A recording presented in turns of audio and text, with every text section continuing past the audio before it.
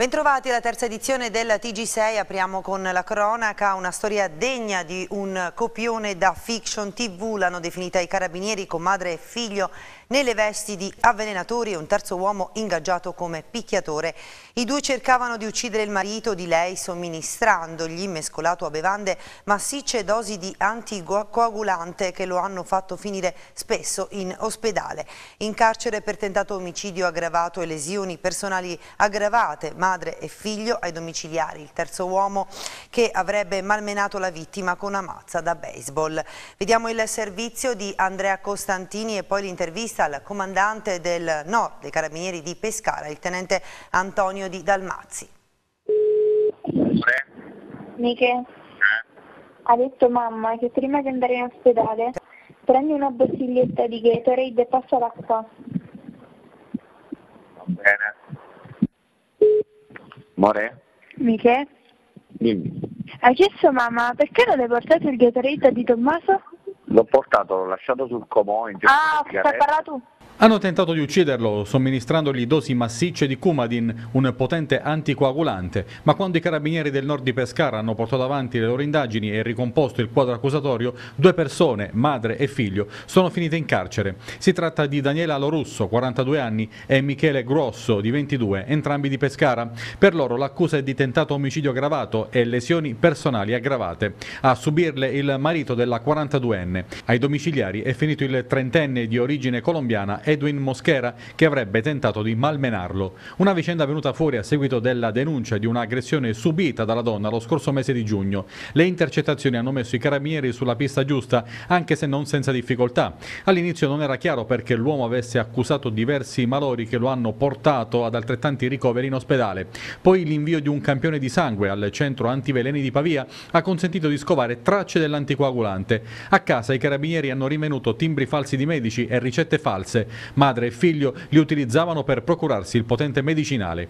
I due avevano anche organizzato un agguato per procurare alle vittime lesioni che non si sarebbero rimarginate, vista la somministrazione di quel farmaco. Aggressione avvenuta con mazza da baseball lo scorso 10 luglio, a condurla due uomini, uno il colombiano come detto è ai domiciliari, l'altro è ricercato. Intanto mercoledì saranno interrogati alle 11.30 Daniela Lorusso e suo figlio Michele Grosso davanti al GIP del Tribunale di Pescara Gianluca Sarandrea comparirà anche Edwin Moschera, accusato di lesioni personali aggravate in concorso.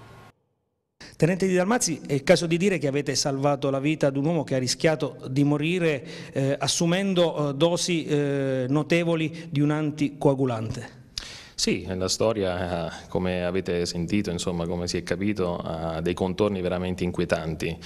Questa coppia di madre e figlio hanno messo in atto questo piano diabolico al fine di uccidere il marito di lei. Eh, sul momento siamo ancora, eh, stiamo ancora un po' brancolando nel buio perché ci potrebbero essere varie piste, dalla pista patrimoniale alla pista sentimentale, eh, il rancore verso la famiglia o semplicemente motivi personali loro, però è stata veramente un'indagine che ha portato alla luce una personalità veramente incredibile ed inquietante. La vittima, ehm, oltre a rischiare la vita, eh, perché eh, si è trovato a bere questo, questo, questo, liquido, questa bevanda in cui era stata eh, disciolta una quantità eh, massiccia di eh, medicinale, ha subito anche un'aggressione. Sì, la cosa veramente ancora più scandalosa è questa. Insomma, commissionare un'aggressione del genere al fine proprio di aggravare le conseguenze dell'assunzione del farmaco è, è, dimostra ancora, ancora, di più quanto sia diabolico il piano. Ci sono stati dei problemi anche per i medici all'inizio per capire il perché di queste condizioni di, persona, di questa persona che è stata ricoverata diverse volte in ospedale. Sì, i primi accessi al pronto soccorso risalgono addirittura al mese di marzo, quindi è evidente che la coppia stava già mettendo in atto il piano da diverso tempo. E dopo 5-6 ricoveri, dopo 5-6 accessi al pronto soccorso si è deciso per il ricovero nel reparto di ematologia e anche lì i medici sono, stati, sono rimasti abbastanza perplessi perché nonostante vari prelievi, varie analisi non sono ancora riusciti a capire, non riuscivano ancora a capire cosa stesse accadendo, avevano addirittura pensato di inviarlo in un centro specializzato per malattie, non so, genetiche, avevano ipotizzato degli scenari assolutamente eh, avulsi da quello che poi era eh, la realtà dei fatti. Quando poi hanno scoperto eh, tutta la, la, vicenda e grazie al loro scrupolo che hanno inviato il campione di sangue al centro antiveleni per l'analisi, hanno scoperto la molecola di questo farmaco potentissimo e quindi hanno capito anche loro che cosa c'era dietro. Voi siete riusciti a, a ricostruire questa storia ma a scoprire soprattutto questo piano perché stavate indagando su un altro episodio completamente slegato da questo? Sì, sì infatti il tutto è partito dall'aggressione che eh, la donna ha patito a fine, a fine giugno in cui effettivamente è stata aggredita da sconosciuti che eh, non siamo ancora riusciti a individuare che hanno addirittura pare tentato di violentarla. I carabinieri della compagnia di Popoli stanno indagando su una presunta aggressione subita da un sedicenne nel Pescarese intorno alle 22 di ieri sera. Il giovane che si è poi rivolto ai carabinieri per la denuncia ha riferito di essere stato avvicinato da tre sconosciuti, tutti con casco da motociclista in testa mentre faceva jogging. Uno dei tre, come detto dal minore, gli avrebbe chiesto, parlando con l'accento dell'Europa dell'Est, una sigaretta e poi, senza apparente motivo, lo avrebbe malmenato. Il sedicenne sarebbe per però riuscito a difendersi, a mettere in fuga i tre aggressori per poi chiamare i carabinieri da una abitazione vicina al luogo della presunta aggressione. Eh, subito dopo il giovane si è fatto accompagnare a pronto soccorso dell'ospedale clinicizzato di Chieti dove i sanitari gli hanno medicato escoriazioni con una prognosi di 5 giorni. I carabinieri hanno avviato quindi le indagini anche per cercare di chiarire l'esatta dinamica dell'accaduto. E ha un volto e un nome il rapinatore delle poste di Via De Amicis a Pescara e un 27enne pescarese arrestato dalla polizia di Pescara. Punto Alfredo Primante. Gli uomini della squadra mobile di Pescara hanno individuato l'autore delle due rapine commesse ad aprile scorso nell'ufficio postale di Via De Amicis a Pescara. Si tratta di un 27enne nato ad Atri in provincia di Teramo ma residente a Pescara.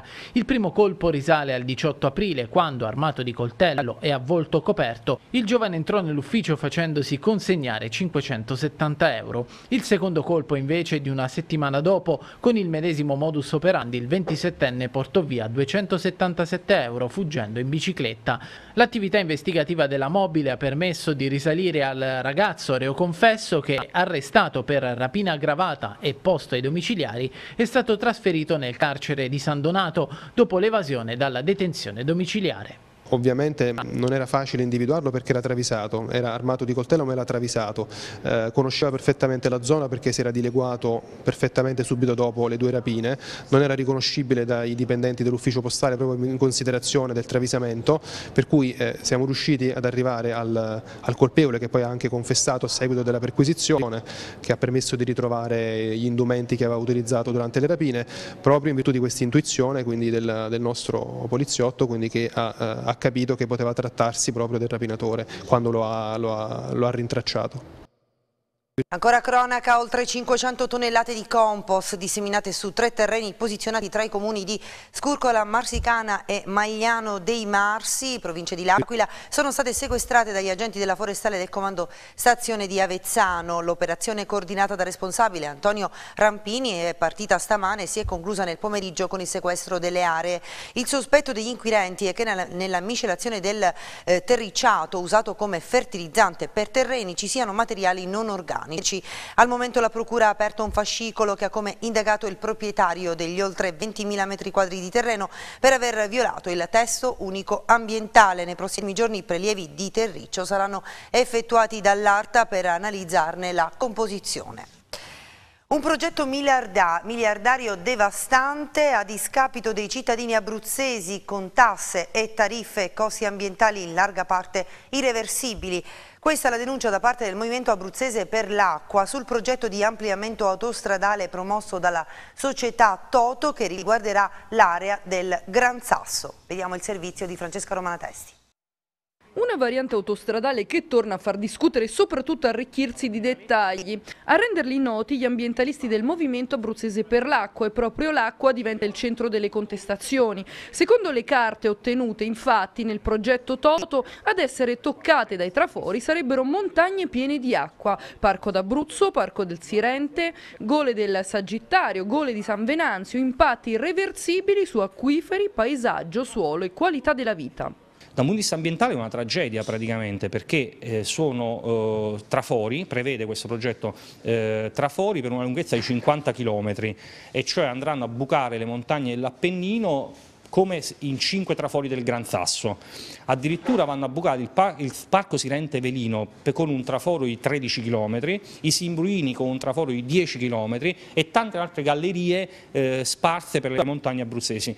Con le mappe ufficiali della Regione Abruzzo abbiamo dimostrato che questi trafori andranno a bucare 10 degli acquiferi più importanti della regione Abruzzo, cioè l'acqua, il patrimonio, cioè le montagne che danno l'acqua eh, anche per dissetarci e, e per tutti gli usi che ne facciamo. Un progetto assolutamente devastante che noi dobbiamo rimandare al mittente, noi chiediamo ai cittadini di organizzarsi senza parlare del consumo di suolo, della cementificazione. Un progetto miliardario che secondo le carte esaminate dagli ambientalisti ipotizzerebbe un risparmio di tempo traducibile con una manciata di minuti rispetto a quello attuale. Inoltre, a non convincere il movimento dell'acqua ci sarebbe la poca trasparenza adottata dal governatore d'Abruzzo rispetto all'intero progetto che interessa l'area del Gran Sasso. Nessuna trasparenza praticamente perché le mappe le stiamo divulgando noi per la prima volta dopo un anno eh, di discussione discussione nelle segrete stanze ministeriali e della Regione.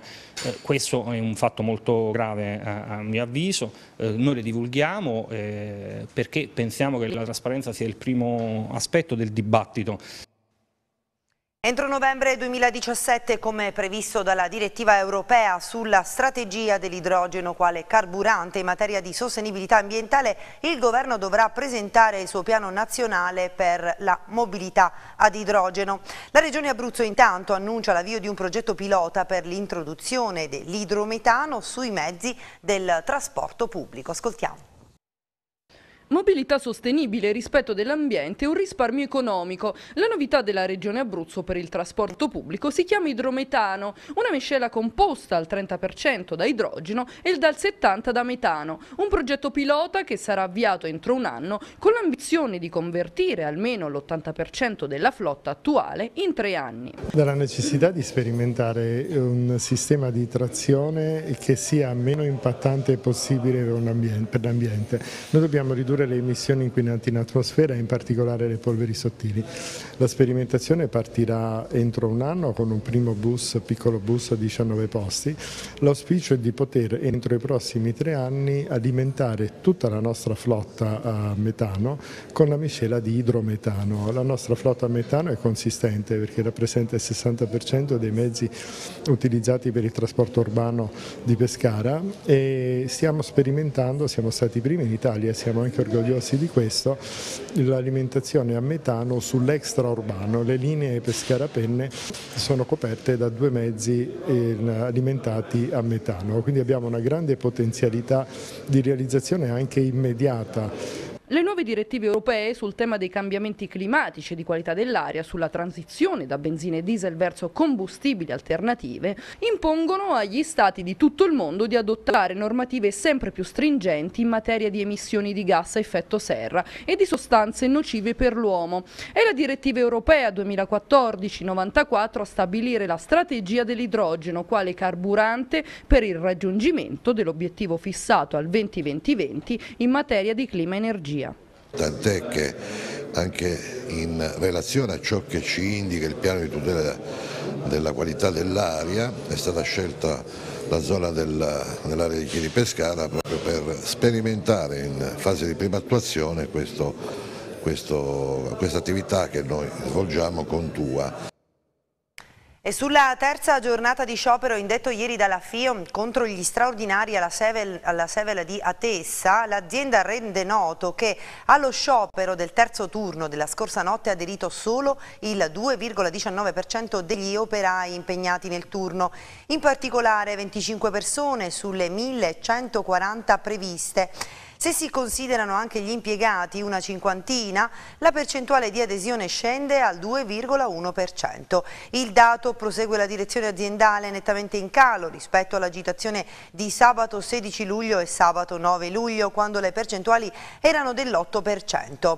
Lo sciopero non ha influito sulla produzione. La scorsa notte, aggiunge la nota ufficiale, sono stati prodotti 340 furgoni completi in linea con il programma di produzione previsto. I turni alcuni straordinari effettuati nel mese di luglio rientravano nell'ambito di quelli previsti dal contratto collettivo specifico di FCA e hanno riferimento a picchi di richieste da parte del mercato dei veicoli commerciali. All'Aquila si stringono i tempi per la ricostruzione di Palazzo Margherita, sede del Comune, fino al 6 aprile del 2009. Si iniziano a diradare le nebbie sul futuro della ricostruzione di quella che per tutti, fino al 6 aprile 2009, è stata la casa degli aquilani. È arrivato infatti il via libera della Soprintendenza Unica per l'Aquila e Cratere al progetto esecutivo per la ricostruzione di Palazzo Margherita, sede del municipio dell'Aquila, e ottimisticamente si può pensare ad un avvio dei lavori di ricostruzione e riparazione dell'edificio già dal prossimo mese di settembre. Si è svolta giovedì scorso, infatti, l'ultima riunione alla quale hanno preso parte, tutti insieme, alla sovrintendenza, il responsabile unico del procedimento e i rappresentanti della ditta esecutrice dei lavori, Samoa Restauri. Un incontro dal quale sarebbero emersi solo pareri positivi al progetto presentato al Genio Civile. Come molti ricordano, il percorso per l'ok del progetto ha subito diversi slittamenti, visto che inizialmente si era parlato di gennaio e successivamente del mese di giugno. A complicare le cose il passaggio dei sottoservizi, i cosiddetti tunnel intelligenti che si stanno realizzando per il passaggio di reti e servizi. La vicinanza con lo storico edificio ha portato ad una revisione del progetto ed un riposizionamento degli ancoraggi a terra del palazzo per garantirne una maggiore stabilità modifiche per le quali si è atteso il parere positivo della soprintendenza dopo mesi di studi e approfondimenti. Il cantiere di ricostruzione, da 11,7 milioni di euro, è stato aggiudicato alla ditta campana Samoa Restauri a 8,9 milioni, dopo un ribasso del 26%. I fondi sono disponibili già dal 2010, stanziati dall'allora commissario per la ricostruzione Gianni Chiodi, a cui si sono aggiunti nel 2012 i 5 milioni della donazione di Federcasse BCC. 700.000 euro e questa è la stima provvisoria dei danni causati dal maltempo nel comune di Pineto. Intanto l'amministrazione di Robert Verrocchio avvia le procedure per la richiesta di stato di calamità naturale al governo regionale. Centinaia di migliaia di euro, questa è la prima stima dei danni riportati dal comune di Pineto dopo le piogge torrenziali di qualche giorno fa. Chiesto subito lo stato di calamità naturale al governo regionale, ma nel frattempo è stato proprio l'amministrazione di Robert Verrocchio a dare risorse economiche per approntare gli interventi immediati, interventi che hanno interessato l'area della Pineta e soprattutto quella dell'entroterra, dove le strade sono letteralmente saltate per la potenza e l'abbondanza delle precipitazioni. La prima stima dei danni che abbiamo è quella fatta da lì a poche ore, il giorno dopo, di circa 700 mila euro. È vero che in quel momento non avevamo ancora contezza dei danni alla pineta storica, che poi eh, rappresenta un po' il nostro patrimonio più importante, per il quale siamo davvero preoccupati. Adesso in queste ore stiamo liberando diciamo, la parte dei pini che sono caduti eh, con delle, delle ditte e da un giorno o due siamo riusciti, grazie all'impegno impegno H24 di tutti coloro che stanno lavorando a ripristinare dei pontili in legno che erano lì sotto e quindi crediamo che da qui ai prossimi giorni in settimana di riuscire a rimuovere diciamo, del tutto i pericoli e rendere fruibile la pineta. L'attesa ora riguarda i tempi della Regione Abruzzo che dovrà approvare la richiesta di fondi da parte del Comune e poi capire i tempi burocratici per l'avvio di tutte le azioni di ripristino. Sicuramente abbiamo bisogno di risorse adesso e quindi questo l'aiuto che stiamo chiedendo alla Regione Abruzzo abbiamo deliberato lo stato di emergenza per cui adesso chiederemo che la Regione insomma, chieda anche lo stato di calamità e poi con la speranza che possa arrivare qualche risorsa. Stiamo intervenendo con le nostre in questo momento quindi per far fronte alle urgenze, alle emergenze, però ovviamente questo è un primo momento per superare l'estate. Eseguito nei giorni scorsi un delicatissimo intervento per rimuovere un tumore da un paziente di soli 9 anni, da un bimbo di 9 anni, all'ospedale di L'Aquila. Vediamo. Un raro tumore al femore su un bambino di 9 anni di Roma con dolore acuto che lo svegliava di notte e rischio stop nella crescita dell'osso. All'Aquila il tumore benigno gli è stato bruciato in pochi minuti con termoablazione a radiofrequenze e dopo due giorni il piccolo è tornato a casa perfettamente guarito. La radiologia interventistica d'urgenza dell'ospedale dell'Aquila, tra i pochissimi centri italiani e unico in Abruzzo, specializzata nella diagnosi tramite biopsia e nel trattamento dei tumori muscoloscheletrici, ha eseguito nei giorni scorsi un trattamento molto delicato, soprattutto per l'età del piccolo paziente, la cui famiglia risiede a Roma. La procedura specialistica, praticata sul bambino, è una delle 79 effettuate all'Aquila nel corso degli ultimi 12 mesi molte su pazienti che vengono affidati alla radiologia interventistica aquilana dall'Istituto Regina Elena di Roma, con cui il San Salvatore lavora da anni a braccetto. Come specialità, la branca della radiologia interventistica si occupa di tanti aspetti, ma gli ospedali che in Italia trattano i tumori all'osso, benigni e maligni, si contano davvero sulle punte delle dita e si trovano per lo più a Torino, Bologna e Roma. È il motivo per cui di tutti i pazienti che passano per l'Aquila, il 60% arriva da fuori regione. La termoablazione sul bambino romano di 9 anni, ricoverato e assistito dal reparto di clinica pediatrica, è stata attuata con radiofrequenze che attraversano la pelle e bruciano la massa tumorale in pochi minuti, a temperature anche superiori a 60 gradi. La distruzione della parte dell'osso attaccata dalla malattia è avvenuta sotto guida TAC. Il radiologo interventista Luigi Zugaro con alle spalle diverse centinaia di trattamenti di questo tipo, con una minuscola sonda ha raggiunto il punto del femore malato e ha proceduto a bruciare il tumore. La termoablazione, dichiara Zugaro, ci ha consentito di evitare l'intervento chirurgico che, su un paziente di 9 anni, avrebbe avuto strascichi rilevanti con ampie cicatrici e possibili complicanze post-operatorie. Il bambino è stato dimesso dopo due giorni e ora sta bene. Passiamo alla pagina sportiva, ieri a Palena di fronte ad oltre 2000 eh, spettatori si sono affrontate Pescara e Teramo, i biancazzurri di Massimo Oddo, pesanti sulle gambe, hanno faticato nel primo tempo e si sono imposti 2 a 0 eh, nella eh, ripresa, Teramo compatto e pungente nel primo tempo, acclamatissimo il neo biancorosso Marco Sansovini in campo dal primo minuto e applaudito da vecchi e nuovi tifosi, il servizio di Andrea Costantini. È stata innanzitutto una festa quella che si è consumata ieri al Campo Gli Angeli di Palena, una festa per le oltre 2000 persone che hanno gremito l'impianto del piccolo comune della provincia di Chieti che sta ospitando il ritiro del Pescara, una festa per il calcio abruzzese perché l'amichevole ha messo di fronte le due migliori espressioni della regione, il Delfino di Massimo Oddo che sogna la salvezza in Serie A ed il Teramo di Lamberto Zauli che in Lega Pro vuole ritagliarsi un ruolo da protagonista. Per il Pescara è stata la seconda uscita dopo la sgroppata con la squadra dilettantistica locale. Un test di tenore decisamente più elevato ed infatti le gambe imballate dal duro lavoro dei giorni scorsi e la consistenza dell'avversario hanno reso il primo tempo insidioso per i biancazzurri, poco sciolti nella manovra offensiva e non inappuntabili nelle retrovie dove la coppia Coda-Zuperic ha avuto i propri grattacapi contro il tridente Teramano. Qualche buona giocata in avvio di Cristante e un Mitrizza già attivissimo, poi il meglio i biancazzurri l'hanno riservato all'inizio di ripresa con l'innesti di Caprari e Benali che hanno dato più rapidità al gioco e non a caso hanno indirizzato il risultato finale di 2-0.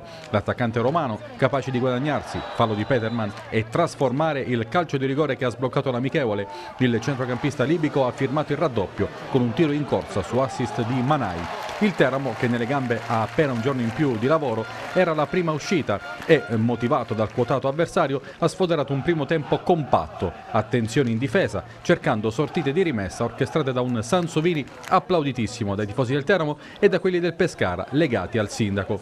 Molto in palla il terzino d'Orazio, bene centrocampo Peterman e Amadio. Nel secondo tempo, con eh, le tante sostituzioni, i biancorossi hanno patito il cambio di passo del Delfino, ma resta l'impressione positiva destata nella prima parte. Peccato per le tante assenze, affaticamenti dettati dalla preparazione, Zampano, Crescenzi, Fornasier, Bruno e Aresti da una parte, Speranza, Petrella, Ilari, Carrara e Orlando dall'altra. La preparazione prosegue, giovedì di nuovo in campo entrambe, il Pescara contro il Frosinone, da valutare se si giocherà o no a Palena. Per per il Teramo amichevole ad Avezzano prima del debutto ufficiale in Team Cup di domenica ad Alessandria. E prima della partita ha parlato in conferenza l'allenatore del Pescara Massimo Oddo che ha fatto il punto sul mercato e quello che si aspetta nelle prossime settimane. Ascoltiamolo. Dovranno arrivare giocatori che vanno a completare una rosa, non è che vengono a fare i titolari. Eh, se lo meritano giocano i titolari, se no giocano quelli che ci sono perché sono anche abbastanza bravi, quindi non è un grosso problema, però la concorrenza è normale che ci sia, più vai su in alto e più è, è la normalità. No, non temo di perdere Verre. Eh, se Verre starà qui, io sono contentissimo che è qui, se Verre dovesse andare via sono contentissimo che va via perché vuol dire che è una sua scelta. E allora non ci poteva dare nulla. Ci che una sua, una, una sua, scelta vuol dire che non, aveva, che non ha le, su, le giuste motivazioni o più motivazioni ad andare da un'altra parte e noi faremo con altro, senza problemi. Senza problemi. Non puoi fare nulla in questo caso? No, ma io posso anche mettere il veto, ma se poi il ragazzo vuole andare via, eh, cioè, io voglio motivazione, voglio giocatori motivati, voglio giocatori che credono ciecamente in questo progetto e soprattutto voglio giocatori che credono in se stessi. Sicuramente una pedina serve, adesso se più in mezzo, più una mezzala, a questo non posso rispondere, però secondo quella che è la mia mentalità di, cercheremo di trovare un giocatore che sa fare più ruoli come lo sono tutti i nostri giocatori del centrocampo. Berre può fare il trequartista, la mezzala, il play, Memusha è più o meno la stessa cosa e Torreira l'anno scorso faceva tutti e quattro i ruoli e Benalì può fare il trequartista e la mezzala quindi nella nostra idea di gioco che è un gioco in cui c'è anche molta interscambiabilità dei ruoli e quant'altro e facciamo di questa la nostra forza ho bisogno eh, nei limiti del possibile avere giocatori che sappiano fare più cose. Cioè, ma non mi fate i nomi, non vi rispondo sui nomi, cioè, noi, dobb noi, dobbiamo cercare una punta, chi, mi chiedete chi, non lo so, vedremo. Mi, mi, mi propongono 100 giocatori al giorno, io li vedo, li valuto con attenzione e poi, poi sceglieremo. Allora, l'identikit della punta deve avere due caratteristiche deve essere funzionale e deve essere forte. Deve essere funzionale e deve essere forte. La struttura non conta. Se uno è forte può essere 1,90 o 1,70, per me è sempre forte, cioè, quindi non cambia niente.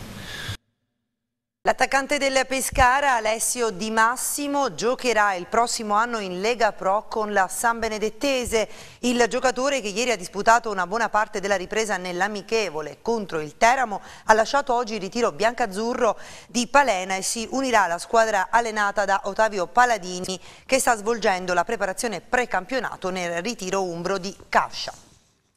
E soddisfatto dopo la prima uscita stagionale il presidente del Teramo Luciano Campitelli che annuncia Madio resta con noi e in settimana prolungherà il contratto.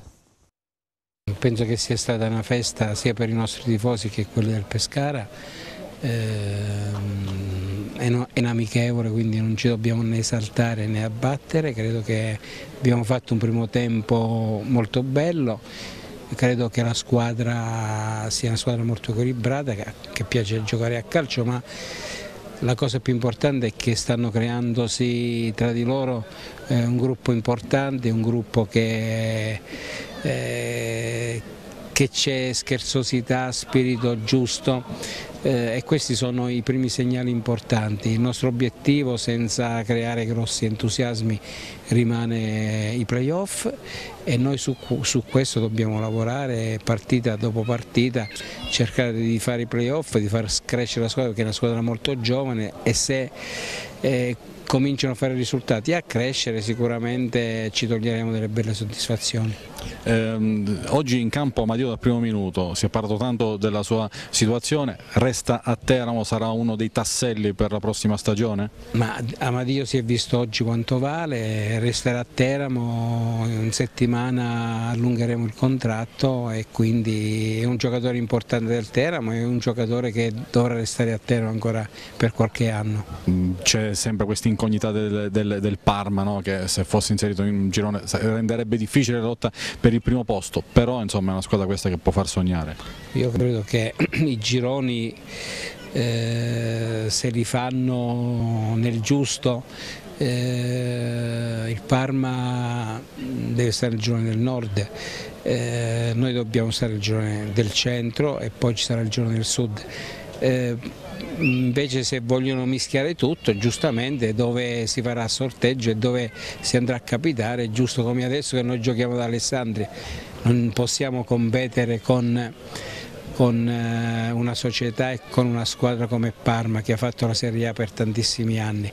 Eh, noi il calcio è bello perché le sorprese possono avvenire in qualsiasi momento, noi non dobbiamo fare la corsa sicuramente a nessuno, noi giocheremo le nostre partite, e abbiamo tutto per poter eh, toglierci qualche soddisfazione e cercheremo di toglierci. E si avvicina la scadenza ma a Lanciano la situazione non cambia, il procuratore Donato Di Campli conferma che la possibilità di ripartire dalla Serie D è estremamente bassa, ascoltiamolo. Non c'è nulla di nuovo, io ho soltanto preparato tutti i documenti affinché eh, si possa iscrivere alla scuola interregionale, ovviamente si devono trovare gli imprenditori interessati. Hai, hai, fatto nascere questa nuova società, la Pro Lanciano, che sì. è stata affiliata anche alla FIGC. Sì, questa cosa qua eh, che dal punto di vista è soltanto un fatto formale. Chiaramente per, eh, per iniziare bisogna capitalizzare questa società. Eh, io eh, ho fatto soltanto un atto d'amore verso la mia città e basta. Mi fermo qua perché non è fare il presidente il mio ruolo, eh, faccio il procuratore e altre cose, però se posso dare una mano lo faccio molto volentieri e credo di averlo fatto. A pochi giorni da questa scadenza, eh, se volessimo dare delle percentuali, quante possibilità lanciano di ripartire da una D, quante da un'eccellenza? A quest'ora do un 10% di possibilità e dall'eccellenza nemmeno si riparte dalla prima categoria perché, no, perché il, il Presidente del Comitato regionale ha detto così che eh, la certezza è la prima categoria, quindi parliamo di certezza in questo momento senza una società e Lanciano riparte alla prima categoria.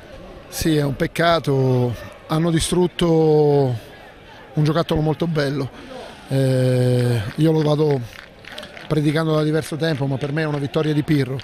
Eh, resta il fatto che hanno bruciato una cosa bellissima nella nostra città. Ed è tutto per oggi, grazie per l'attenzione e buonanotte.